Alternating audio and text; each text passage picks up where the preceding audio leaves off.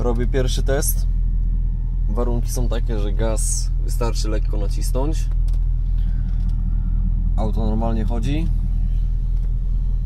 Magiczna zielona butelka.